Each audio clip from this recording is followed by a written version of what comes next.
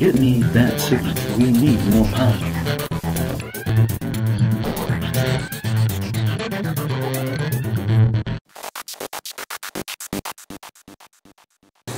Do you guys ever, you know, wonder maybe about going to Haiti where all the voodoo, you know, has happened there, or maybe even Mexico to the Yeah. Hispanic communities? Because Yeah, it's we a were really just big, We were talking about it's a big Yeah. deal, not just because of Catholicism and religious beliefs, but um, there have been several battles in Mexico. Oh, yeah. Yeah. in, in Guadalajara, to name a few, to, to Los Altos de Jalisco, um, where a lot of sightings have happened. Is that something you guys would ever consider? Absolutely. Yeah, oh, I, I Yeah.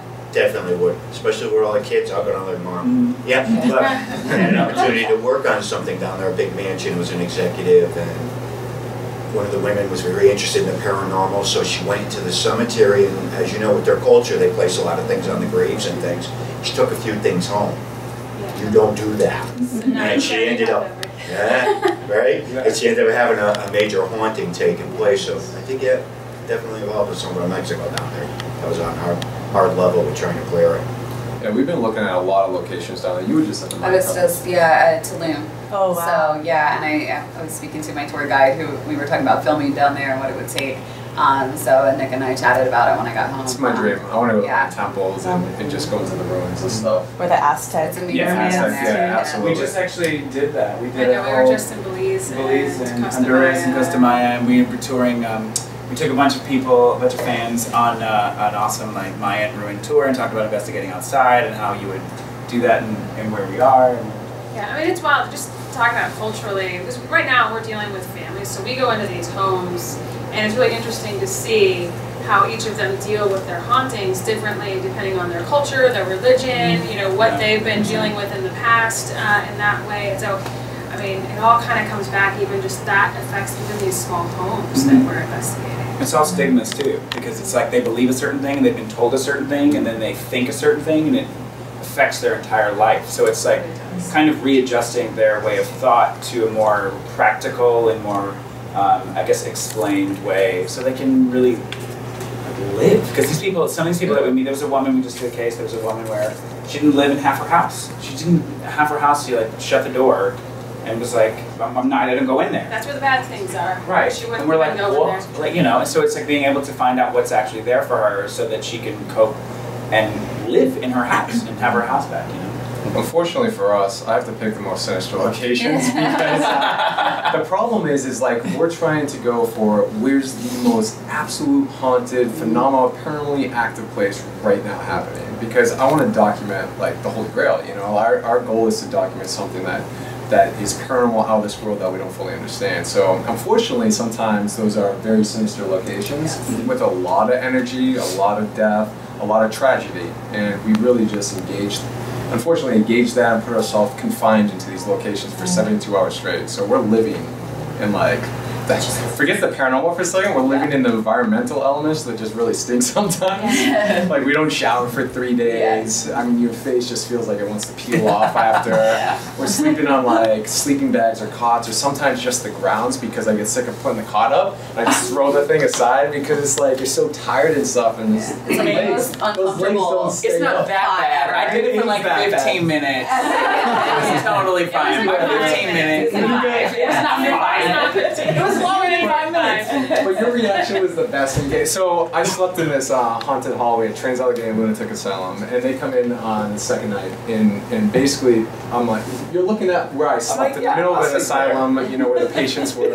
It's like I'll sleep, and I gotta like go for it. So we walk out, and he stays in there. But you had an incredible It was crazy. electronic voice phenomenon he captured on a digital recorder, but it remembered you. Yeah, it remembered. It remembered that we had investigated there in the past, and you know we find that often. It's like they, if they're intelligent, they're gonna know when you come back, and they're like, oh, those guys, I can talk to them. I can give my information to them. I can reach out to them, and it said, it said, hey, Adam, It said Hello, hello. Hello, Adam. Adam. Yeah. which is insane. So it knew who, who we are. So when we go to these places, they do the same thing. It's like when you investigate, you really have to build a relationship with the entity, with something that's there. So you know, we usually have like the homeowner introduce us to them because the homeowner is around them all the time to gain trust and gain respect because we have, you know, about four days to um, process all of this information, and we need to build a relationship quickly because if they're intelligent, they're going to want to talk to us, and we have to gain their trust. And that's how we know. They start talking. They start saying our names. They start Right. interacting with us more. It's it's pretty wild to watch this whole way we've been doing. But some of our homes are like we thought it would be less creepy because we're dealing with houses, but some of them. I mean, there's one case we did uh, in Con- Connecticut that. Uh, we left and we all just didn't feel good afterward and uh, it just something happened our dp got lyme disease our pa had his appendix out this is all within like 72 Three days, hours yeah, of this after we case left the case. we all felt sick i ended up in the emergency room with like my back thrown out Our other camera guy threw his back out the next day. I lost housing for these people that were coming to town to visit. Like all of this happened within. like three days Right. and we were just after and all of us said we started texting did we all just get cursed at this location like what happened So it's a cleansing and Yeah. like, get it out. So I thought I had to worry about asylums, but apparently people's houses just as scary. That energy. Yeah. I mean, I'm a big believer in energy. Yeah, um, for sure. energy is a real thing. We all produce energy, kinetic energy, or whatever. Energy happens after the body dies, and the fact is, you know, we will die, the body will die, but where does that energy go? Energy can't be destroyed. It lingers, it multiplies, it connects with other places and different locations. And I believe that's what we're truly dealing with is this energy.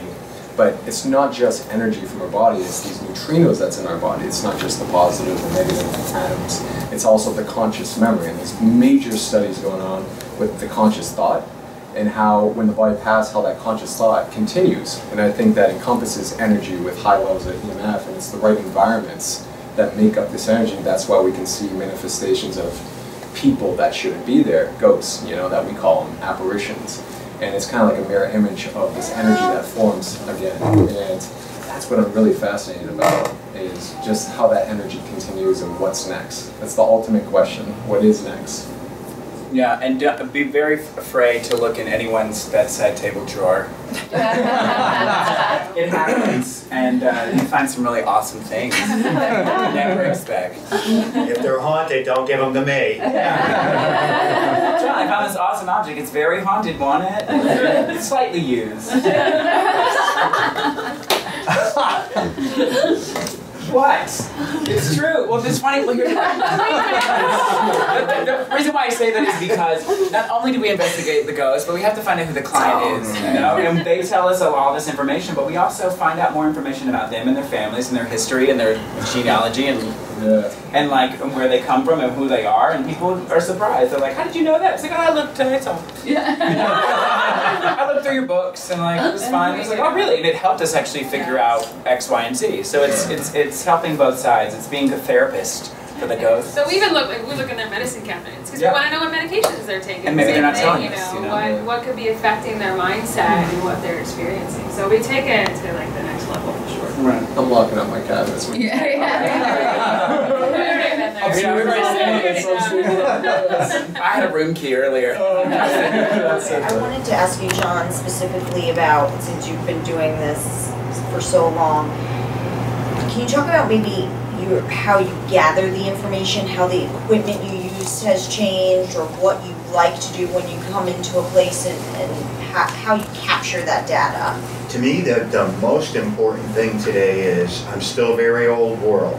I still have my old cassette recorder. I still have my original camcorder that I paid eleven hundred dollars for thirty years ago and I won't part with it. You know, I still use a lot of the old equipment. I like doing a lot of old method things. But when I'm with all of these guys and they have all the horns, the bells, the whistles, and all this, these things, I'm so intrigued by it because they're moving. They're capturing more new information. They're getting things, and it, I, I get very excited by that because that's where some of the breakthroughs I think are going to come in, in our field. You know, uh, just when Nick and Katrina, we were doing Yeah. several things and capturing things left, right, and I'm sitting there like, whoa. Don't forget, I'm still a hippie at heart. So, you know, it, it, it's phenomenal watching the advances with everything that have come forth with a lot of the equipment for me. We still use the same recorder from '98 though. yeah, yeah, yeah. That recorder It's an awesome fast. recorder from 1998 they don't make anymore, but it's like ridiculous. It gets Yeah. the amazing, the most amazing electronic voice phenomenon EVPs. It's, it's because like most digital recorders now are being like enhanced. Yeah. So there's like a hertz. So anything below 20, uh, negative 20 hertz is what we realize where we're capturing voices, spirit voices, because it works on a certain frequency that we're starting to understand that that's where they can communicate a little bit easier.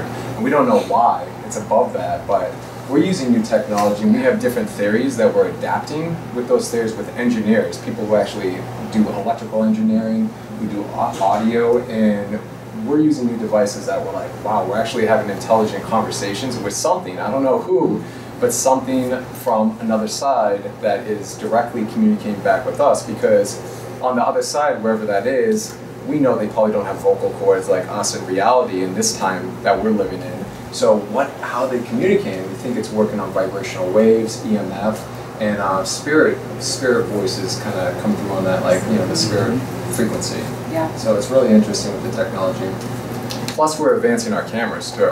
For Paranormal Lockdown, we're shooting in uh, 6K resolution, which is the highest resolution possible to film, which is incredible because we broadcast in a different broadcast at Destination America, but we're we're seeing stuff we've never yes, seen I've never before. seen before. And it's interesting because, you know, I think for years kind of the, the argument against our field was, well, nobody's ever captured it on film. Nobody has, you know, Such kind of a this lie. piece of evidence. And it's funny because, Yeah. well, yeah, and people have it. People, they, they want, it's also like, they need to know for sure it's not Yeah, fake. They need, sure. they need to see it with their own eyes, and I totally get that. And I think all of us up here would agree mm-hmm. with that. If we Yeah. didn't have our experiences, maybe we would be on the other side of the fence. But what's fascinating about what Nick is talking about with the, with the advancement of technology, we are seeing other things. So it's like for all these years, do we just have the wrong equipment? And then it's also when you think about it in terms of why don't we have it on video camera? Think about how many things like are in our environment that we don't see right now, like radio waves. We can't see that. So what if you know we're just not working with the right technology? What if there's something that needs to be built to see this other spectrum? And that's what's really fascinating. And I think going back to one of the original questions of how has the paranormal changed, is that I, I, and I'm sure you guys can speak on this too, but I've seen so many more scientists get, um, uh, you know what, I'm gonna put myself out there that I think there's something going on. And they get involved and they get excited about the field. And that's exciting for me because it's giving legitimacy and um, validation for all these people that have had these experiences. Yeah, no, she's absolutely right. I mean, with the 6K camera too, it's not just, and I think sometimes we get stuck in the redundancy of, okay, another location, let's do the same old routine. That's not how paranormal works, you know? We all know that it's like finding a needle in the haystack. You never know when that needle's gonna kind of poke you a little bit. You know, I was, I was gonna, I'm so glad you guys brought all this up, because I was gonna ask you, um, on any of your shows, have you caught evidence that production didn't wanna use?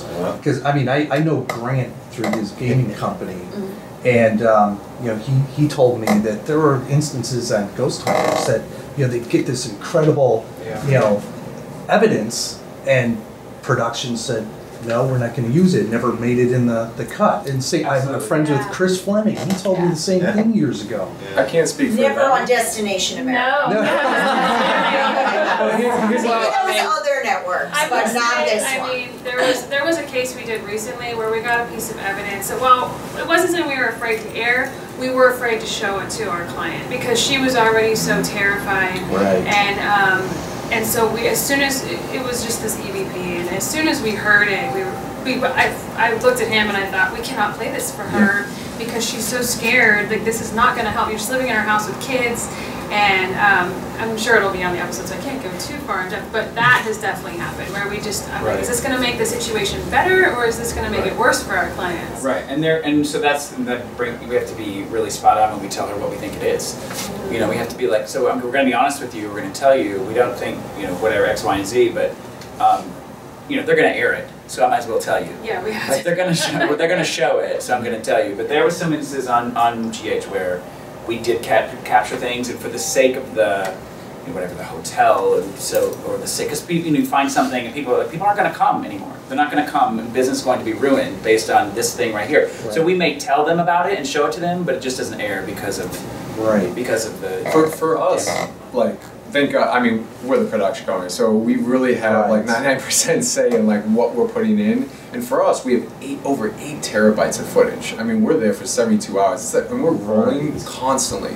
So we're condensing that to 43 minutes for a broadcast. Yeah, right. To the best stuff that we actually captured, our theories, what's happening, and those are the best moments. You know, sometimes we'll sit around for an hour or two and nothing will be happening. We played, we played checkers, Oh my where they said a haunted room was at Randolph County. and she still, well, it was funny because we were playing checkers. I think I don't think we were playing right number one. Mm. And she like, it was funny because I, I had like one left and she had like all these kings right, around So me. we must have not And I'm like, yeah, yeah. And there was a ghost You're named cheating. Bill in the room. And I'm like, all right, I think we should probably stop because we've been in here for an hour. And you know, maybe we should let Bill play, finish this game. So I'm like, Bill, do you want to help me win and just like move some of these around Yeah. for me? But it's it's one of those situations. And then a little bit later, then we have suddenly your name coming through on the, Yes, um, on the a device box, that was yeah. um, yeah, Yeah. like what you're talking about. We were researching, or I was, for 15 years because before I gained access to Franklin Castle, Right. you know, in Ohio, and that was like one of the most iconic locations. It was the top 10 most haunted location in the country, you know, and I'm like. Well, how can that be? Like, not a lot of people have investigated, but it's all the stories and the legends and the Right. mystery behind that location. So we finally gained access for season one of Paranormal Lockdown, and it was incredible. I mean, it was incredible. It did live up to Yeah. its reputation pretty much. So just having the access to do that, a lot of research. Sometimes it'll take us 10 years, 15 years. But it's that low tech research that is Yeah. really telling the story because I mean, you can't count on something happening because it's not. exactly. You know, that's what you know. You go out with other paranormal groups and they expect it to perform. Well, Yeah. it's not a performance. You mm-hmm. know. It, it, it doesn't get, well, I was gonna say, it doesn't get more low tech than talking to Betty Jean, next door neighbor. Yeah, right. That And gives that's where us you the get name up, of right. two people and one of the names show up in our investigation. Like, it doesn't get more low tech than that. And not only that, it's we wanted to live at the location. Mm-hmm. Okay, if we put ourselves into these locations and confine ourselves and don't and don't leave the land and the property for 72 hours, because I feel like three days is a long time. you It's know? a very It's long very long time. It's long enough. So, Yeah. after that, I mean, if there are things happening and all these stories talking about, then hopefully we'll document it. If that's just an EVP or just a voice, you know, as simple as that sometimes in the paranormal community Right. now, then okay, then that's what it is. And it's the personal experience though, going through it. You know, the, and the grueling part about going through it, because we're up for 26 hours. Right. You gotta let the mind and body rest. And we have a theory when we're at our most vulnerable state, when the mind escapes you and you just go to rest in the middle of the most haunted place. It's just Katrina and I in this big insane asylum. We're on opposite ends. I always say, what's the worst that could happen? And then I remind him what it is. I'm like, well. Yeah, where I got your bag. I feel like you won't be able to yell for me, and I won't be able to hear you. I'm like, well, until that happens, just keep the cameras rolling and Right. hopefully we document it. You know. Right. With all the investigation that you guys have done over the years, how have your own views of the paranormal and the afterlife changed oh, throughout your career? We did, did this, uh, uh, again, 44 years being involved with this. Back when I started, you have to remember, if somebody got touched or pushed, oh, that's a demon. Yeah. You know, look at it that way now. You know, again, you look at, you're looking at the realistic of what is occurring and what is happening, and we have a better uh, comprehension of energy. We're made of energy. Thus, once it leaves that body, if you were a mean, rotten person in life, you're going to be like that as it goes. Yeah. Yeah. But the most significant is, uh, and shared it recently with everybody, uh, several months back, I had a heart attack. And you know, I always heard about when everybody's having the near-death experiences and everything. No, I didn't see the pearly gates, the harps didn't go off, kumbaya didn't happen. But, you know, it was a weird experience and it altered different things with me to make me take that step now and look like, wow, I remember when my mom was saying her brother or sister was around and everything like that, and some of these experiences were occurring and happening. And now, when I'm doing different sessions or uh, investigating different things, I have to see loved ones hanging around. And they're driving me freaking nuts. You know, and they're, we're getting the recordings, we're picking up on them and everything, and it, it, it just turned into something that I never thought I would have that opportunity to experience. And now I can validate where, you know, some of these things where deceased loved ones are around. And um, for any of you that know, Ed Warren passed away. And a couple of months afterwards, he starts coming through when we're investigating on tape. Ed, Ed, Ed. And it reaches a point, Ed, shut up, I'm trying to investigate. And then he'll tell me to shut up. And we, we captured this on tape. So it's, it's been hysterical and it, it's been funny watching that alteration take place with, now I'm tying that whole part of into pulling that part in with, with the afterlife part of it. So it's pretty, it's interesting, and you have to keep an open mind with all this because mm-hmm. your theories, your logic, your things change. And if it doesn't, and you get stagnant, like Nick said, we're not gonna gain any knowledge. Right. Yeah, it comes So anytime they got equipment and everything, I'll take a look at it, and I go, how do you even frickin' turn that on? But I'm interested in the end result. I feel like the more we do this, the less we know, kind of, because we'll think we have a, an established theory, and then we'll get this crazy bit of evidence that just kind of goes in the face of everything we thought was mm-hmm. happening. So I just go into it now. Before I had thought I had a very concrete idea of what things were, but now I just go into every case with an open mind, and I just don't know what I'm going to find next. Um, I definitely question as I've gotten older my decision to like constantly surround myself with death. you know, that's something that I've kind of grappled, with, especially after having a child. It's been like I have just have a very different view of what we do now, and I'm like, how long am I going to be able to like psychologically digest all of this without it like seriously affecting me? Because we Right. just, especially dealing with families that most of them have been through like horrendous tragedies, and they're all wonderful, lovely people, and uh, you're like, wow, this is heavy, and it gets to you. So it's it's a really strange. I never thought of that when I first got into the field. I didn't think of that long term result. Hopefully you'll last till season ten. I know. I'm good for, for ten seasons. Yeah, I think for, for me personally, it's, um, you know, when I was growing up, I kind of just thought, you know, when he died, he went to heaven or hell, and ghosts was somebody who had passed on that's here to help you find their will or, you know, whatever it was. Um, but being in the field, you know, I, I look at it as um, it's more of a spectrum of things that, you know, a ghost may be a ghost like we think it is, but it may not be. Um, maybe it's just something, again, going back to science, it's something in our environment that uh, you know, produces or manifests that we don't quite understand how to detect it yet or why it's there.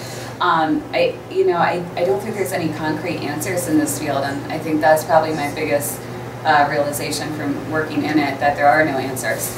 And everything that we talk about is based off of theory and case studies and um, just working together And and, and right, just putting together what we, the patterns that we've seen. Um, and it's, it's all really fascinating because I'm, I'm very excited to see where the field goes as we keep expanding. It's weird with me, like if you come over to my house and have a dinner conversation, it would be the deepest conversation you probably ever think of. It's not just one sided that here's a ghost and let's hear your ghost story. It's everything across all spectrums, like Katrina's talking about. I love all things paranormal, anything unexplainable. I've been like that since I was a kid. I used to talk to my grand, or my grandmother used to talk to me about like aliens and UFOs and ghosts. I grew up in New England, so you know a lot of like alien stories and abduction stories. One one of the oldest back there from like the 1950s, and you know that's how I kind of grew up in that kind of mentality of being that weird kid when I was 13 years old in my bedroom, listening to Art Bell on the radio, my little boom box, and having maps spread out. Remember maps, not phones. and like my dad walked in, he's like, "What are you doing with the map?" I go, "I'm going to Area 51 someday." You know, it's like because I listen to Art Bell and it's like unexplainable base. So I was that adventurous, very hyper, ADD kid that always just wanted to search out the unexplainable and go off the beaten path a little bit. And maybe that guided me into this kind of crazy Well, quest. It's a drug. Yeah. Well, It truly Yeah, is. it It's is. like It's something a we crave and we have to do. And Yeah. the more we find out, the less we know. Yeah. And it's bizarre and it's like this big puzzle that we continue to put together. I always say we always start with the middle of the puzzle and work out. It's never it's never the corners first, you know? It's like always starting from some place and making trying to make sense of it. It's a journey. yeah. And as I, I go along and I listen to what everybody says to me in the field or anything, and, and what I look for is that passion. Mm-hmm. And what they're looking for, what, what is that journey about? And at the end of that, that journey is, what are we dealing with? We want that golden answer. Is there a hell? Is there a heaven? Is there those different planes? And all of us are out there searching and looking for that. And to me, being in the- research field of this, And in the paranormal end of it, as long as everybody keeps an open mind and you can keep pushing forward, even though you might push it a little too much. You know, I laugh and I smile a lot of times when we're talking and having conversations and I go, oh, John doesn't approve of that. I, you know, I even said this to Nick, I go, it's not that I don't approve. I said 30 years ago, yeah, I gave a lot of things a lot of shots, Yeah. you know, to try to prove things and learn things. Right. So this is what I look, and, and I admire that when, when I see them doing it and, and, and moving forward with their shows. And I'm very excited, you know, that they're out there doing that and everything. Mhm. That's important because they have the passion. That's what you need in anything you do, and especially in the paranormal, you need that passion. And that's a great point. You gotta love what you do, Yeah. period, in life, just in general.